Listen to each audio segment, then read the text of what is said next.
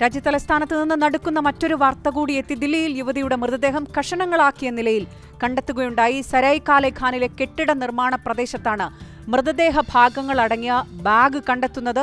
കൊല്ലപ്പെട്ട യുവതിയെ ഇതുവരെ തിരിച്ചറിഞ്ഞിട്ടില്ല. ദുർഗന്ധം വമിച്ചതിനെ തുടർന്ന് നിർമ്മാണ തൊഴിലാളികൾ നടത്തിയ പരിശോധനയിലാണ് ബാഗ് കണ്ടെത്തുന്നത്.